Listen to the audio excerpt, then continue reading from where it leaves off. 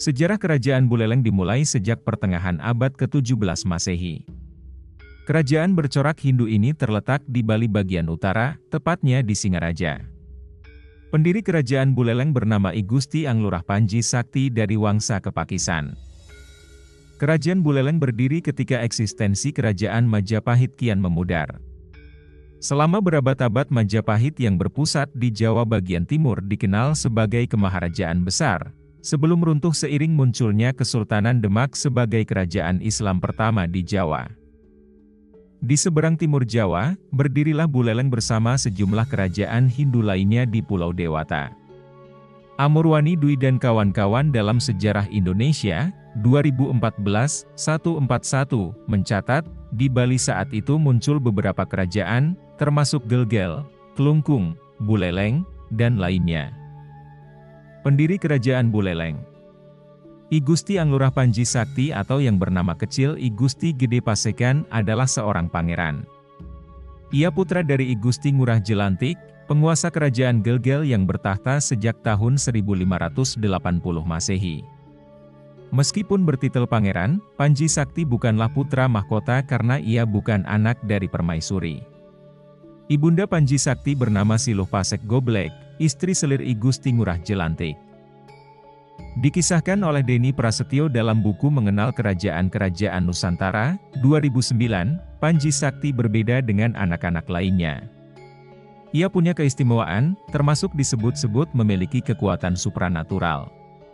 Kelebihan Panji Sakti membuat ayahnya khawatir.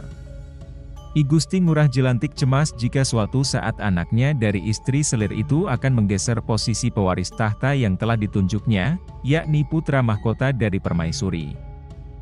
Maka, ketika berusia 12 tahun, Panji Sakti diasingkan ke kampung halaman ibunya, yakni di Desa Panji, wilayah Den Bukit, Bali bagian utara.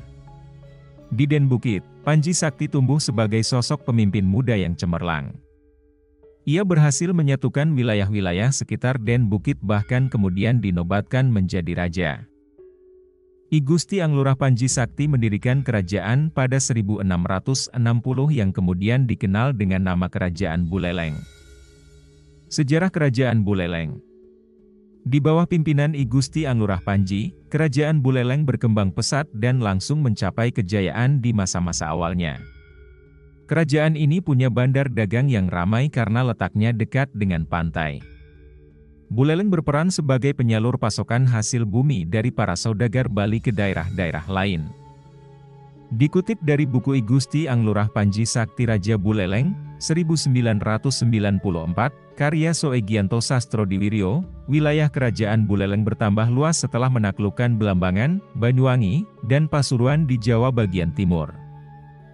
Kekuatan kerajaan Buleleng perlahan melemah setelah I Gusti Ngurah Panji Sakti meninggal dunia pada 1704. Tahun 1732, Buleleng takluk kepada kerajaan Mengwi. Dua dekade kemudian, tahun 1752, Buleleng kembali menjadi negeri yang merdeka. Namun, lagi-lagi Buleleng kalah perang tahun 1780 pada era kepemimpinan I Gusti Ngurah Jelantik, 1757-1780. Pemimpin Wangsa Karangasem, I Gusti Pahang Canang, berhasil merebut wilayah Buleleng. Selama berada di bawah kekuasaan Wangsa Karangasem, keluarga Istana Buleleng ternyata diberi posisi penting. Salah satunya adalah I Gusti Ketut Jelantik, Pangeran Buleleng Putra I Gusti Ngurah Jelantik. Ketika Wangsa Karangasem dipimpin oleh I Gusti Made Karangasem, 1825-1849, I Gusti Ketut Jelantik ditunjuk sebagai patih atau panglima perang.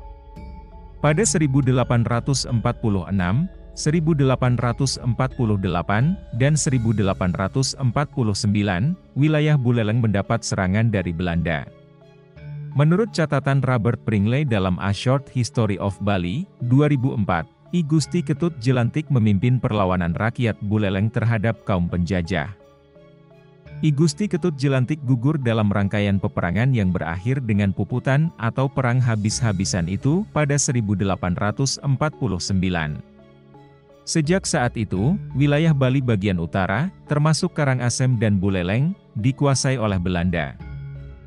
Peninggalan Kerajaan Buleleng Berdasarkan catatan Sugeng Rianto dan kawan-kawan dalam studi potensi lanskap sejarah untuk pengembangan wisata sejarah di kota Singaraja yang termuat di Jurnal Arsitektur Lanskap, Volume 2, No. 1, 2016, ada beberapa peninggalan sejarah Kerajaan Buleleng, di antaranya adalah 1. Perempatan Agung, Catus Patha Perempatan yang berlokasi di Jalan Mayor Metra, Veteran, dan Gajah Mada, Kota Singaraja.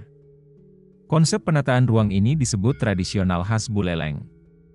Di sana terdapat pura, puri, pusat pemerintahan, pasar, dan lapangan terbuka. 2. Masjid kuno, Keramat Ditemukan ketika orang Bajo dari suku Bugis menyisir lahan yang tertutup semak belukar di tepi sungai Buleleng. Diduga, masjid ini adalah peninggalan Buleleng ketika pengaruh Islam masuk ke Bali. 3. Masjid Agung Jami Peninggalan ini semula bernama Masjid Jami yang ditujukan sebagai simbol toleransi beragama di Kerajaan Buleleng. Namanya diubah pada 1970, sebagai bentuk penghargaan kepada kebaikan Raja Buleleng. 4. Kampung Bugis Catatan sejarah perjalanan orang seberang bisa dilihat dari kampung ini. Suku Bugis ketika itu tergabung dalam Angkatan Laut Kerajaan Buleleng dan banyak yang menetap di Singaraja. 5. Kantor Bupati Buleleng Setelah Buleleng dikuasai Belanda, dibangun gedung asisten residen untuk pejabat Belanda. Setelah Indonesia merdeka, diubah fungsinya oleh pemerintah daerah Bali menjadi gedung veteran dan perguruan tinggi. 6. Eks Perlabuhan Buleleng Tempat ini adalah bukti sejarah bahwa Buleleng pernah berperan sebagai pusat perdagangan.